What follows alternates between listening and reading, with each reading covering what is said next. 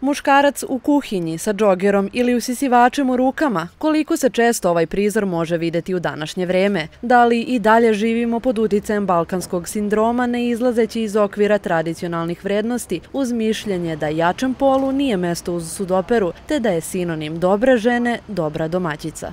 Ako je zaposlena supruga, radi. Čovek radi. I sada žena dođe još dodatnih posla više nego na poslu ima. I normalno da tu dolaze trzavice kad ona dođe s posla, da je skuvaj, da je peri, da je ispegla i da je ovo, da je ono. Trebalo bi, ali koliko ja znam da i učestvuju i da pomažu. Samo su dane žene postale bezobrazne, nikad im nije dosta. I samo da to bude u određenoj meri, da ne bude u nekoj meri koja nije, koji posao nije za njih jednostavno. Dakle, mislite da bi poslove trebalo ravnopravno da rasporede i muškarac i žene? Ne baš podjednako, ali A zbog čega? Približno. Zbog čega tako? Pa zato što je to tradicija. Ne preterano, ali onako, ponekad. Šta to znači?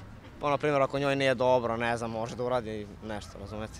Ali da ipak ona radi većinu poslova. Da, treba da radi ona. Ona treba da radi. Mislim da kuva, da sprema, da čisti. Trebali bi da učestvuju kao i žene, jer samim tim što oni učestvuju pomažu u svoje vezi. Svedoci smo činjenice da održavanje bračnog i partnerskog odnosa sa sobom nosi ogroman broj poteškoća i što je još ozbiljnije, ishod bračne veze postaje sve manje izvestan, ali ipak u svakom odnosu najbitnija je komunikacija, poručuju stručnjaci. Kako e, financije, e, tako i roditeljstvo i samo ova podela tih nekih bračnih obaveza igraju veoma značajnu ulogu.